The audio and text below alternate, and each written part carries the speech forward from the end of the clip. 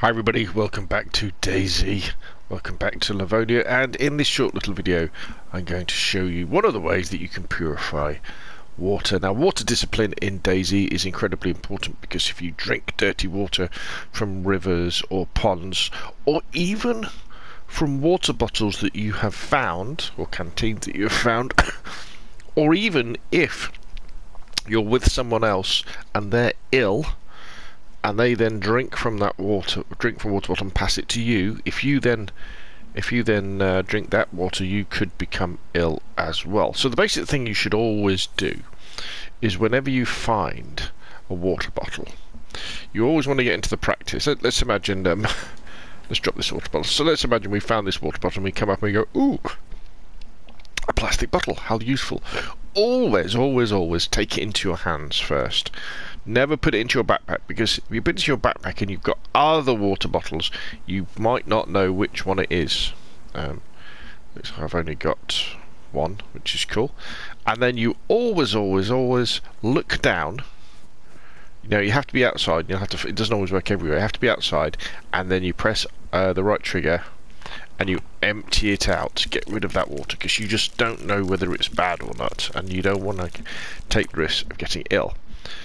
So now we've got an empty water bottle. So now we can go somewhere like a river or a uh, pond and we can fill it up like so. But we don't want to be drinking this water because it will be bad. We need to purify it. So what we do is we must have already found these babies water purification tablets and you can see that in the bottom right corner the combine button has appeared. So we tap that and then on the screen we now have R2 or right trigger to purify. So we hold that and it's going to add some of those tablets to that water and it's going to purify it. So now we've got clean water that we can have a little drink from. Mm, that's good. It's very very good. Now the other way that you can um, purify water is by uh, boiling it on a on a in a pot in a cooking pot on a fire or on a stove. And then if you boil it that will purify it as well. Personally I've never done that.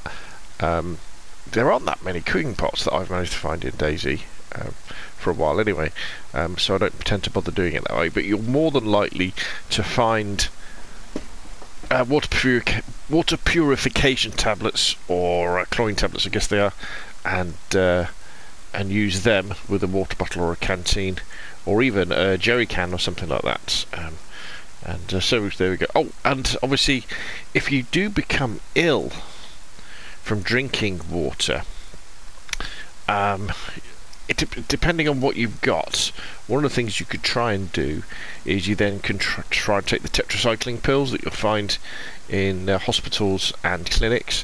They may well help to uh, sort you out to do that way. Um, or you can even take the charcoal pills, but they're really for poisoning. Um, and uh, is there any other types of pills? Not sure. But if you can avoid getting ill in the first place from drinking contaminated water, that's always the best thing. Anyway, that's enough from me. Hopefully that's helpful. Remember, pick up the bottle to your hand and empty it whenever you find one, or a canteen, and you'll be safe from getting the trots. Brilliant. If you've liked the video, hit the like button. If you want to see more of the same, press subscribe. Thank you very much, and I will see you again soon.